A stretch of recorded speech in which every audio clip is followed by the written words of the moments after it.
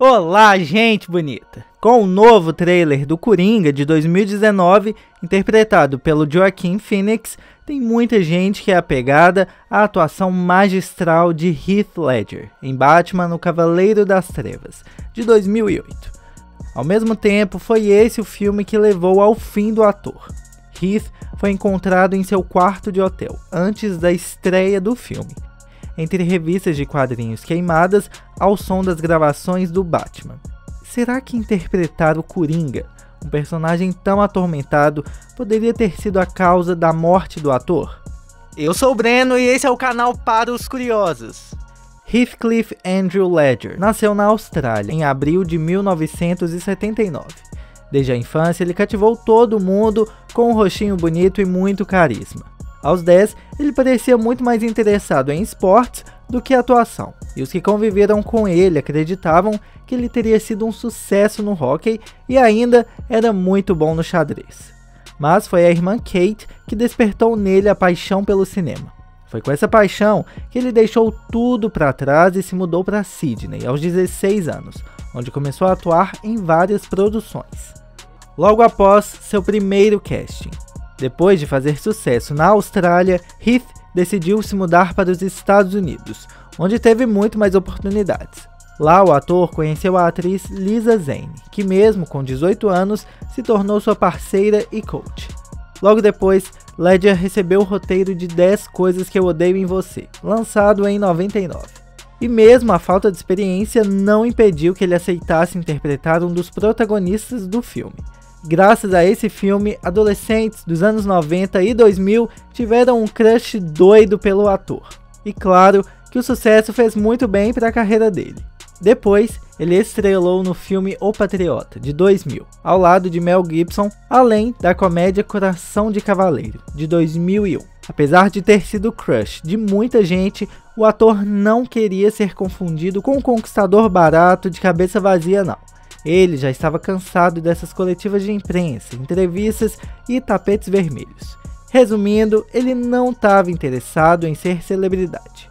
Tudo mudou quando ele conheceu o ex da Angelina Jolie, o Billy Bob Thornton, do filme A Última Ceia, de 2001. Heath se propôs a produzir um documentário sobre Nick Drake, um músico inglês que ele era fã, mas que tirou sua própria vida aos 26 anos, depois de lutar muito contra a depressão. Além disso, Ledger também ajudou outros australianos a alavancar suas carreiras. Sua ex-namorada, a atriz Naomi Watts, lembrou que a casa do ator estava sempre aberta aos imigrantes que tinham ido aos Estados Unidos para correr atrás de seus sonhos. Mas foi o segredo de Brokeback Mountain de 2005 que realmente foi um marco na carreira do ator. E o papel dele foi rejeitado por Brad Pitt, Leonardo DiCaprio, Matt Damon e até Ryan Phillip. A interpretação de Heath foi tão aclamada pela crítica que o ator chegou a ser comparado com Marlon Brando. Apesar do filme ter tido uma excelente repercussão e receber vários prêmios, o ator não ganhou o Oscar de melhor ator naquele ano. E foi durante as gravações de Brokeback Mountain que Heath Ledger conheceu a atriz Michelle Williams. Eles se apaixonaram tão rápido que foram logo morar juntos. Logo depois da estreia do filme, em outubro de 2005, nasceu a filha do casal, Matilda. E, para padrinho, eles convidaram o ator Jake Gyllenhaal. Heath ficou encantado com a paternidade, mas ao mesmo tempo irritado com o interesse cada vez maior da mídia pela vida pessoal dele, e isso acabou afetando a saúde de Heath. Ele passou a ter problemas para dormir, abusou de estimulantes e se viciou em remédios para dormir também, porque era atormentado pela insônia. Michelle Williams não aguentou segurar essa barra por muito tempo, e quando as notícias de infidelidade por parte dele saíram, elas se tornaram a gota d'água para que ela se separasse. Heath Ledger ficou devastado e resolveu focar ainda mais no trabalho para ocupar a cabeça. Foi aí que ele aceitou o papel mais difícil de sua vida, o Coringa. Ele queria mostrar que era capaz de fazer algo completamente diferente de Jack Nicholson. Para ele, o Coringa deveria ser assustador, e ele se envolveu tanto com o personagem que isso fez com que ele fosse reconhecido internacionalmente. Em 22 de janeiro de 2008, uma camareira e a massagista de Ledger o encontraram inconsciente em um apartamento em Manhattan. Quando o médico chegou ao local, o ator já havia morrido. Mais tarde, os laudos médicos apontaram para uma overdose acidental, porque o ator ingeriu muitos analgésicos. Seu corpo foi levado à Austrália, onde ocorreu o funeral.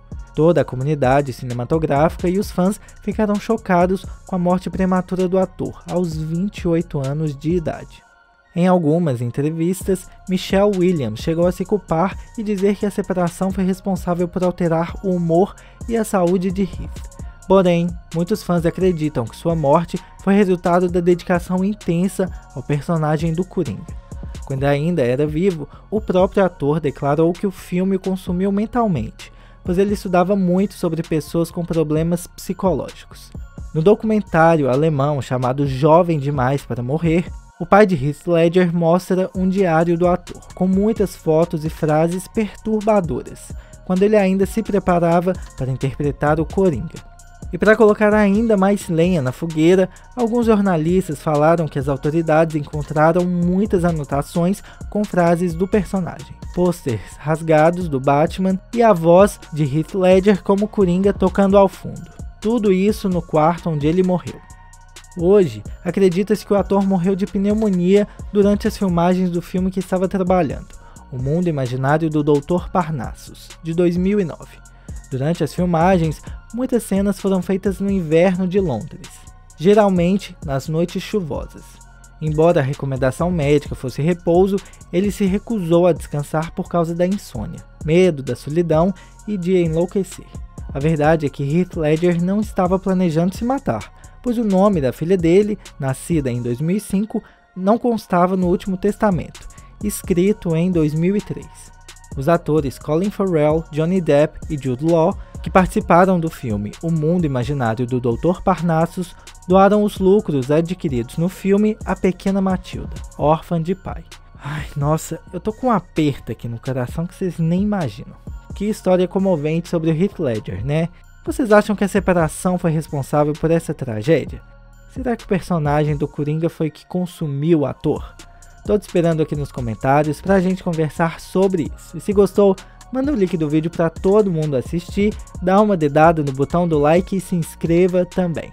Um beijo e até o próximo vídeo. Tchau!